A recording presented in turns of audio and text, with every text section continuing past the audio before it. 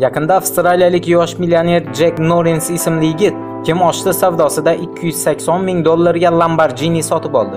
U yangi avtoulovni haydab ko'rish uchun Sidney ko'chalariga yo'l oladi. Bu vaqtda uning advokati mashinani hujjatlarini rasmiylashtirish bilan shug'ullanadi. Sidney ko'chalariga sig'magan Jack yangi Lamborghinisida tezlikni oshirganligi sababli boshqaruvni yo'qotadi. Bu esa siz ko'rayotgan hodisaga sabab bo'ladi.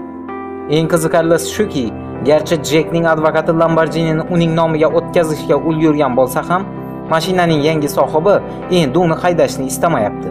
Sud jarayoni hali ham davom qilyapti.